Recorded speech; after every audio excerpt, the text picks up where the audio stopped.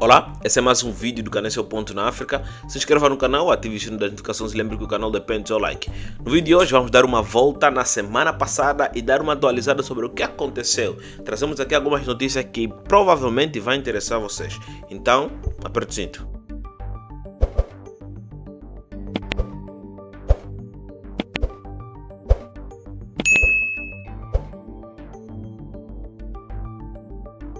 Embraer levou o KC-390 ao México visando concorrer em futura compra da Força Aérea Mexicana.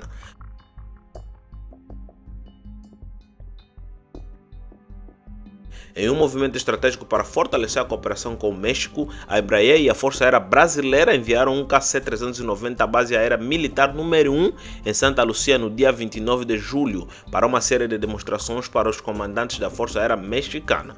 Segundo o Pucará Defensa, a FAMI, que já planeja incorporar dois aviões de carga Lockheed C-130J Hércules, enfrenta a necessidade de atualizar sua frota de transporte, já que os C-130 MK3 estão próximos do fim de sua vida útil. Isso resulta em um déficit estimado de 8 a 10 aeronaves de transporte, um nicho que a Embraer pretende preencher com o KC-390 Millennium com sucesso.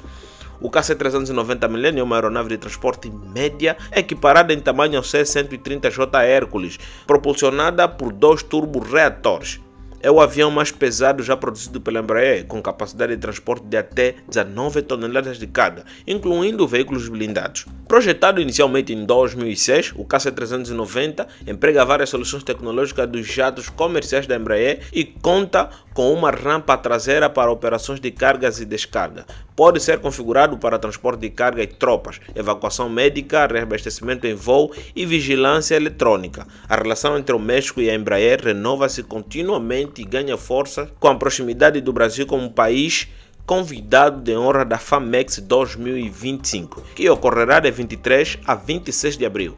Esta participação foi formalmente aceita em cerimônia ocorrida em 20 de março na base aérea militar número 1 de Santa Lucia, com a presença de autoridades mexicanas e brasileiras, incluindo o embaixador do Brasil no México e representantes militares. Durante a cerimônia, o comandante da Força Aérea Mexicana destacou a importância da FAMEX como evento internacional que promove o desenvolvimento da indústria aeronáutica do México, atraindo investimentos e criando empregos. O reconhecimento do Brasil como país convidado de honra reforça ainda mais os laços de amizade e cooperação entre as duas nações nos setores aeronáutico, espacial e defesa. Como podemos ver aqui no rastreamento da plataforma Radar Box, a aeronave de matrícula PTZNG chegou até a realizar um voo de demonstração de uma hora de duração a autoridades mexicanas.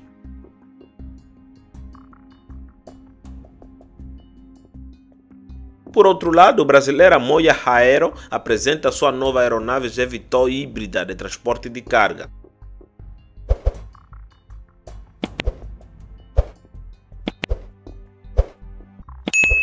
A empresa brasileira Moia Aero apresentou na semana passada a nova versão híbrida de sua aeronave eletrônica de pouso e decolagem vertical, ou simplesmente evitou, um avanço projetado para expandir o alcance das operações com drones para 300 km e melhorar a eficiência mantendo uma capacidade de carga útil simplesmente 200 quilos. Abre aspas, em nossa busca por inovação e excelência, identificamos a necessidade de uma solução que atenda às limitações dos drones eletrônicos tradicionais, principalmente em termos de alcance e eficiência operacional. Nosso drone de carga híbrido combina tecnologias de propulsão eletrônica e convencional, oferecendo desempenho superior e confiabilidade, disse Alexandre Zaramelo, CEO da Moia. Essas são as principais mudanças listadas pela empresa. Primeiro, alcance estendido 300 km. O design híbrido do drone de carga permite cobrir distâncias maiores, tornando-o ideal para entregas de longa distância em locais remotos. Esta gama significa que a empresa pode alcançar mais clientes e expandir as suas áreas de serviços. Eficiência aprimorada. O drone otimiza o consumo de combustível e o uso de energia integrando um sistema de propulsão híbrido. Isto resulta em custos operacionais mais baixos e numa menor pegada de carbono alinhada-se com os objetivos de sustentabilidade da empresa. Capacidade de carga útil descomprometida. Apesar do alcance estendido, o drone de carga híbrido mantém sua robusta capacidade de carga útil de 200 kg.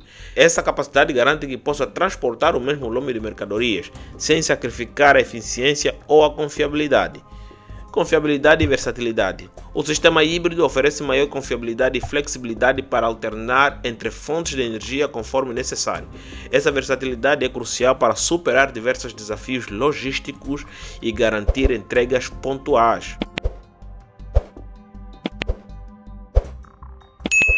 Fundada em 2020, a Moia Aero é uma subsidiária da ACS Aviation, empresa brasileira especializada em engenharia aeronáutica, pesquisa e desenvolvimento de aeronaves, com sede em São José dos Campos, no São Paulo.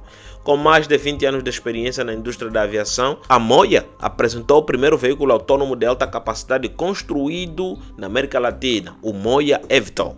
A Moia recebeu investimentos da sede Societe HT com apoio da FINEP para o desenvolvimento do protótipo. Além disso, a empresa colabora com parceiros como Ellison Drones, Pro Aero e certifica drones.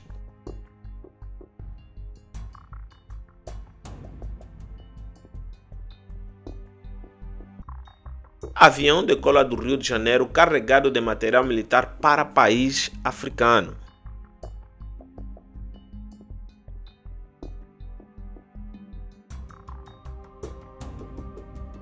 Decolou do Aeroporto Internacional do Rio de Janeiro, Galeão, na quinta-feira, no dia 1, uma aeronave da Boeing 767-200 com carga de material militar não letal rumo à Mauritânia, país localizado na costa ocidental do continente africano. Segundo fontes próximas da fabricante do material localizado no Rio de Janeiro, informaram a Aeron. Inclusive, todos os créditos das matérias estão aqui na descrição para vocês conferirem, todos eles.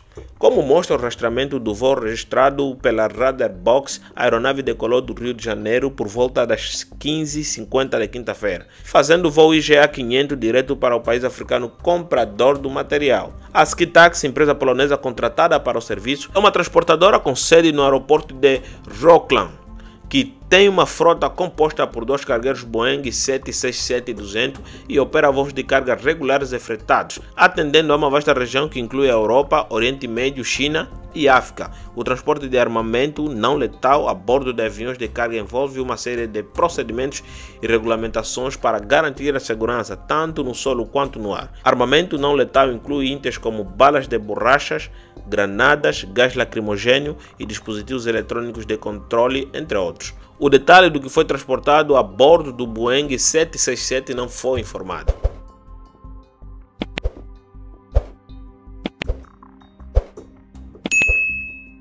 Essas são uma das poucas novidades que a gente coletou para trazer para vocês. Mais tarde sairá mais outros vídeos com mais atualizações.